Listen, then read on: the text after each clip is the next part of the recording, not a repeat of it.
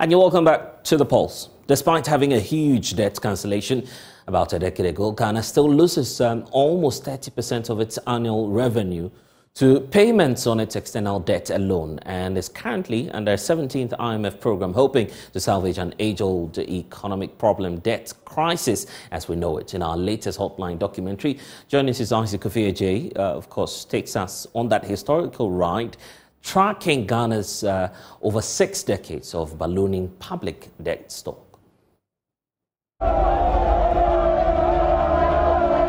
We're described as not credit worthy. No, no creditors will continue to give us uh, credit lines to, to run the business of government for the nation. And since we had only four years to prove that we could govern, uh, we, we might be worse off than what we inherited. So we decided to go the HIPC way.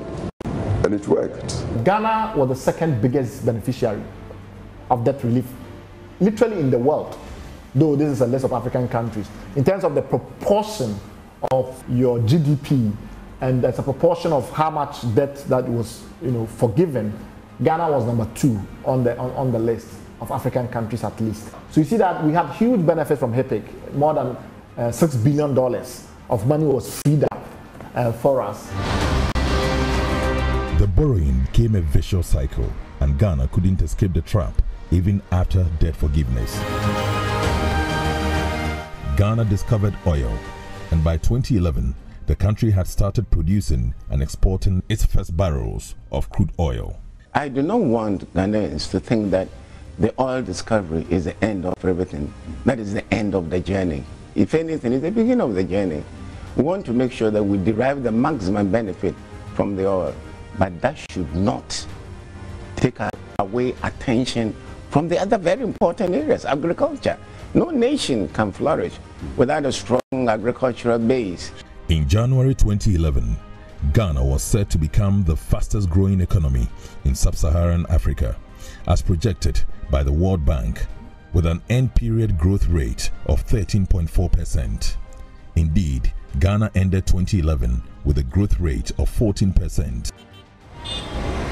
By 2015, Ghana's economy was in trouble, hobbled by widening current account and budget deficits, rampant inflation, and a depreciating currency. Credit dried up as interest rates rose, and banks' bad loans piled up. Precisely because the structure of the economy explains a lot of the things that you see at the macro level and even at the micro level. So that is fine because essentially we, are, we don't add margins to the uh, primary commodities. And look, the world thrives on margins. To the extent that you are not adding margins, you are not getting value. And therefore, you don't command price in the market. After several considerations, Ghana was back to the IMF seeking a fresh bailout. This was our 16th. But by the time we went to Senchi and uh, looked at the policies and the rest, we realized you know, that it was going to be difficult. And then as, you know, was the case, the development partners also decided that, you know, they didn't think we could handle this, this problem ourselves. Uh, they look to the IMF, which is the lender of last resort. It will be the last time we'll have to go to the IMF again for any such program. This will be the IMF program to end all programs. One target of Ghana's 16th IMF program was to help restore our debt burden to sustainable levels. The 16th IMF program actually failed on one of its objectives, which was to substantially bring down debt.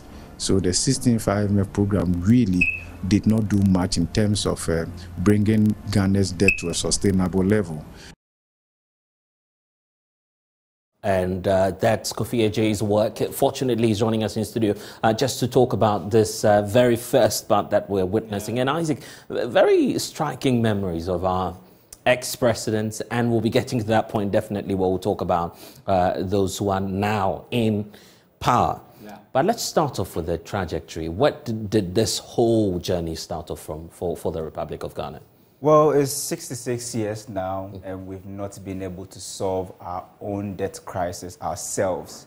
And each time we try solving this, we need a certain, sorry, external force to come in, which has always been the IMF. So we've been to the IMF 17 times, And when we went to the IMF in 2016, which was our 15th, you saw President Mahama saying this was going to be the IMF program that was going to end all IMF programs. So he was certain at that point in time that that was going to be our 16th and the last. Right. But you and I are here currently in the studios, and we know we are currently under a 17th IMF program, and we are probably anticipating an 18th and 19th, and then probably a continuous IMF to, to I, I don't know, Right. it could be mm-hmm. infinite. Right. But the point is that since independence, we've not been able to solve our own debt crisis ourselves.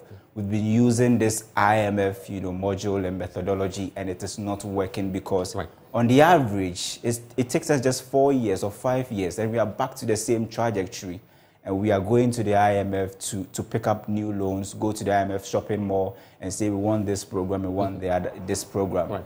And know that the IMF doesn't really impose any program on any government. You go there with your own program. In 2016, Seth Terkper and his, uh, you know, Mahama and Seth Terkper went there with a program they called the, um, you know, the homegrown policy. Right. They went there with that. And now we've gone to the IMF again with what we call the enhanced domestic program, Right. which has come with its own haircut. So let's try and see if this will be the last. I see. And very often, uh, the believers, once we implement the recommendations coming through this uh, adjustment programs and economic reform, we should be on a track for economic recovery. Scientifically speaking, and looking at the data we have, it does work in terms of economic recovery, but we don't play that role in sustaining that economic recovery. So, for instance, the last one we ran, and of course, um, uh, tipping off in 2018, for instance, the data indicates, and clearly uh, the indication is there, that you see very clearly, uh, as, we, as we can uh, see, uh, of course, uh, through the graphs that we have, that indeed our economy peaks at some point once we're exiting the IMF program. That's correct. Yeah, of course. So it takes us three years, and then we are back again. So that has been the trajectory. Uh, well, uh, when, when we talk about even the history itself, uh, you've been speaking to a number of persons then going into the archives. What, what do you sense? Do you feel that this has become more or less a political matter that, of course, is just part of the rhetoric and politicians take advantage of it and make statements as and when they feel it's convenient? Well, so it looks like as if it's more or less like a fiscal populism where, you know, we have beautiful programs, but the political will to carry, you know, these programs through us is always lacking because we've not been able to do it, and that has been the problem. We have very beautiful programs, we draw nice programs with good outcomes, but we've not been able to do it. as Uh, well. and, and in fact, uh, we'll, we'll be getting into the details uh, because, uh, as we need to point out clearly, uh, in a few days from now, we'll be bringing you part two. Uh, of that uh, interaction. And, and while we ready ourselves for that, there's a need for us to first of all look at the trajectory where we started off from and where we're heading to. Uh, Isaac will be giving us a sense of um, where we're heading to in terms of what to expect next uh, in this very uh, package. Uh, now you're here with us. Of course, many are expecting that part two will highlight uh, where we moved on to as a nation, where, of course, the new Patriotic Party administration came into power. We saw, we saw the trailer there. The vice president pointing out clearly reasons for which he believes we're running an IMF program. W- what are we to expect in the next phase? So the part one is the genesis. Part two is what we call from hero to zero. Because remember, in 2021, Ghana became the trailblazer where, because of our economic, you know, outlook and indicators, we're actually able to get a zero percent interest on a certain euro bond. Right. In 2021, we became a trailblazer where all creditors wanted to give us money. But right now, we are actually in a situation where we've been kicked out of that, um, you know, credit market. Yeah. We can't go back to borrow from the Eurobond market. But just two, Uh, three or uh, four years ago, we were the darling boys in the Eurobond market, and everybody wanted to lend to us. So in the part 2 mm-hmm. we look at what we call from hero to zero. Right. How Ghana moved from a very vibrant economy with very good indicators mm. to the point where we had to go and beg And that's why you're calling that uh, a nation that begs. Uh, in fact, we're, we're, expecting more of this, and it's just the beginning of the series. So let's start that series with uh, international development expert and associate professor of political economy uh, at uh, GIMPA, uh, of course, dealing with matters of international relations at the School of Public Service and Governance. He's also the author of Reinventing Development, Politics of Aid Reforms and Technologies of Governance in Ghana, published by Routledge in 2016. Professor Lord Mawuko-Yevugah is my guest, joining us via Zoom. Thank you, sir, for your time. Of course, at the time you were putting up this piece in 2016, Ghana was running a 16th uh, IMF um, program uh, under the erstwhile John Dramani Mahama administration. Uh, the promise then, as we've seen through this uh, documentary, is that, well, we're not going to go back to the Bretton Woods institutions. But you've tracked that history uh, in your book. Where did, where did it all start off for us? And why uh, would you say uh, is, is, that we have that situation where Ghana keeps going back to the International Monetary Fund? Thank you, Blessed, and um, good afternoon to you and your viewers. Uh, uh, I hope you can hear me clearly. Loud and clear, sir. Yes, so we, we can argue that the whole history of Ghana IMF relations started off in 1966. In May 1966, we went to the IMF for support. Uh, it was a standalone agreement to support the economy, cover instabilities in the economy after the Nkrumah years. And we were also to help to support us advertise certain state-owned enterprises. Then from that period, almost every year, coincidentally around the same month of May, so 66, 67, 68, 69, we were going to the IMF every year for stand, standby or standalone arrangement to correct anything that we thought was wrong in the economy. Now, remember that you see the IMF and the World Bank, these are liberal institutions. I think that point needs to be underscored. So um, your your guest or your, your colleague in the studio said earlier that the IMF doesn't impose conditions.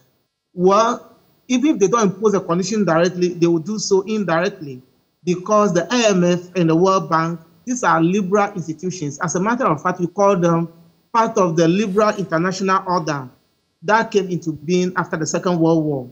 So they were set up in 1944 at the Bretton Woods Conference by the, by the free world, so to speak, led by America. And the idea was to have a liberal international financial system. So we cannot be kidding ourselves. These are liberal institutions. Therefore, their policies are liberal policies. Privatization, downsizing the public sector, etc. I remember that from the 1940s to 70s, globally speaking, you have the Keynesian economic system that focused largely on welfare, welfareism, so the welfare state. But that all changed because over time, the institutions, the IMF and the World Bank, together with their major countries like the United States and UK, began to accept their liberal policy agenda and so we need to have this discussion in that context, that these are liberal institutions with philosophical and ideological uh, bent towards the, the, the right. Therefore, their policies are policies that will promote liberal agenda. If you compare that to where we were under Kwame Nkrumah, where we were largely state-led, the state was predominant in our economic management. That all changed because when you start going to the IMF and the World Bank for any form of policy support, then the policies have to be liberal policies. So that that context is clear. Uh, but while you, you make that clear to us, um, of course, the, the assurance by successive governments, as we've just started seeing, in fact, there, there there's more in the series, uh, we've discovered that each and every government gives that assurance that we will not return to the IMF. At least that assurance has been given on countless occasions. Uh, we've seen that in the Kufuor era, uh, the indication was giving uh, during the Mills era, briefly. And then, of course, we're seeing John Mahama who took over and also pledging at the time that we're not going to um, return to the, uh, to the fund. Uh, here we are today, and the story is still the same. Yes, the story is the same because I think more often than not, our policymakers miss out on the political economy I mean, you don't run countries based solely on econometrics or economic common sense. And that is why we can make predictions and say that we are not going to the IMF because we are assuming that everything that happens to the economy is within our control.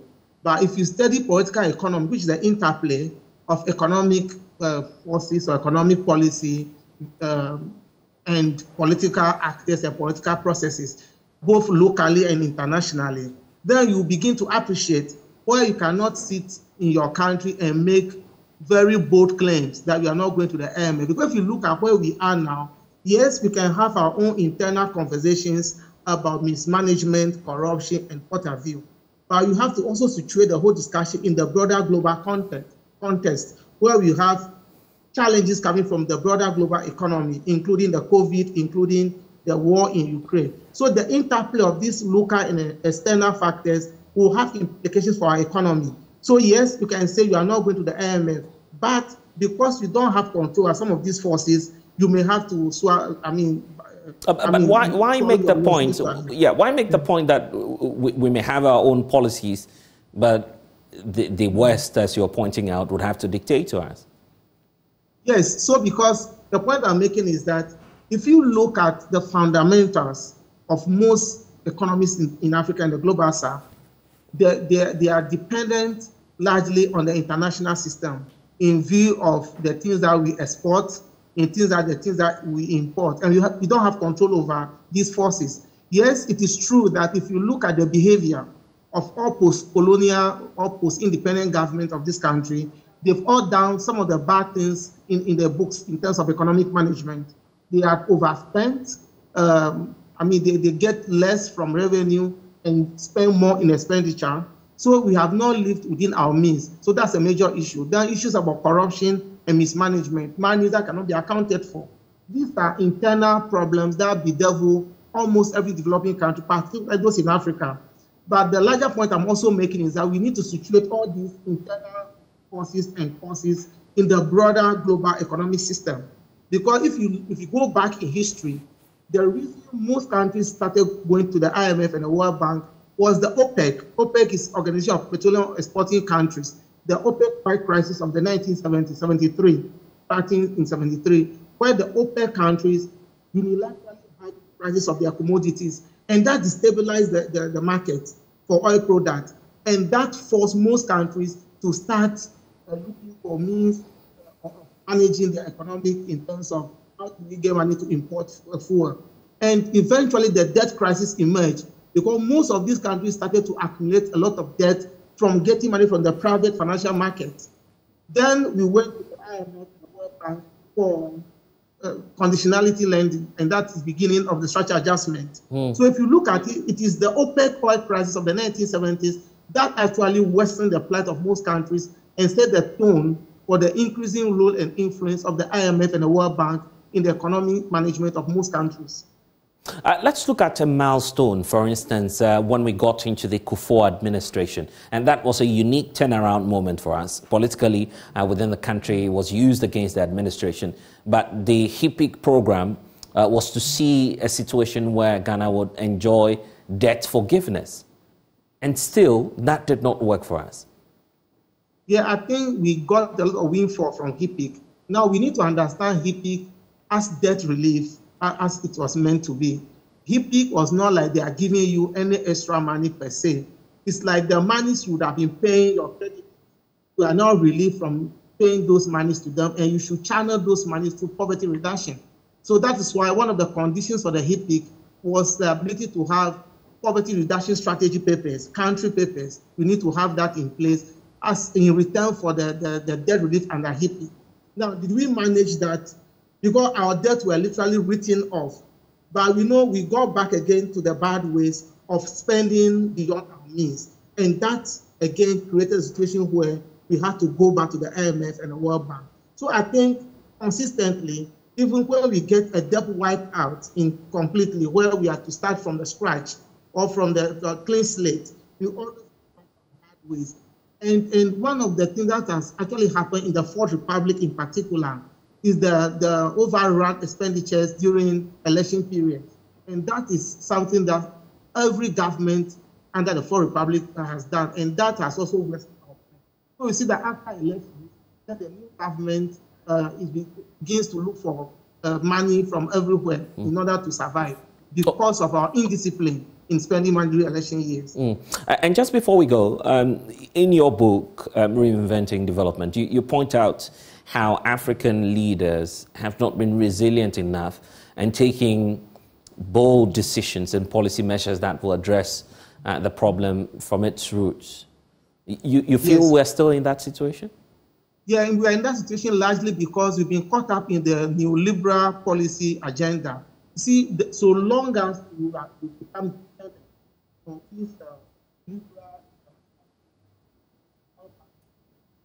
then the, the ability of you to manage your economy from your own point of view is going to be difficult. I mean, if you're coming from the, the critical side of I mean, scholarship, you look at these institutions and ask the question, whose interests and what interest do they represent? Do they represent the interests of poor countries in terms of management of economy? These are global international forces, and they don't account to us. They don't. They are not responsible to poor countries, but they are responsible and they are accountable to the financiers. It's not for it's not for nothing that historically has always provided the presidency the World Bank president have be either an American. Uh, so, so, sorry, that we, we, lost you briefly, um, Prof, on the point you're making uh, about accountability. If you could just take that point for us. Please. Yes, you see, I'm making the point that these liberal institutions are not accountable to poor countries. They are accountable and responsible to their major financiers, major Western powers. And I'm saying that it's not for nothing that the World Bank is headed almost always by an American citizen or somebody recommended by the American government once the, the Europeans will shoot the, the director or the head of the IMF. But these are the countries or the regions that control these institutions. And as I said at the beginning, these are liberal international institutions that was part of the liberal international order, mm. the world order that came into being after the Second World War was to be a liberal order in the image of America. And that's why you hear the phrase, the American president is the leader of the free world, the free world. That free there is all about neoliberalism, liberalization of economic and political system. And that's the agenda of the West. So therefore, if you are an African country, you want to be self-sufficient and actually actually mm. forming commerce prediction or Africans managing their own affairs, then you have to begin to find a way that makes you less dependent on these international financial institutions mm. that are controlled by the Western government. All right. Uh, we're grateful uh, for spending some time with us. That's uh, Professor Lord Mawuko-Yevugah, international development expert, joining us with his thoughts on uh, the first phase of A Nation That Begs. The series continues, and of course, we're set to get some more analysis on that. Thank you for joining us.